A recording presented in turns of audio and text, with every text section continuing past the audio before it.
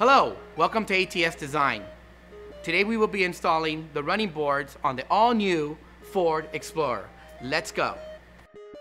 On the underside of the vehicle, locate the two tow hook holes. On each location, install the 3 8 anchor bolt.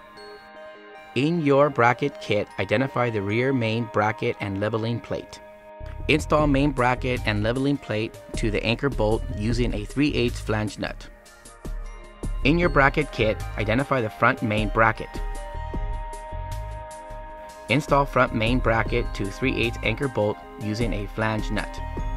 From the front bracket, measure back 26 inches to locate middle bracket location. Mark location using a grease pencil.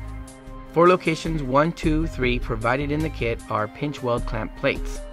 The pinch weld clamp plates will be installed in each location. Use a 5 16 carriage bolt and flange nut to attach to each main bracket location. At this time, leave loose.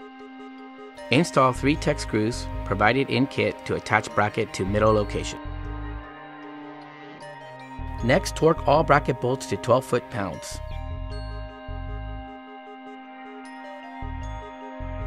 Remove the running boards from packaging. Check running boards for any damage. Install the 6 square head bolts onto the underside of the running board.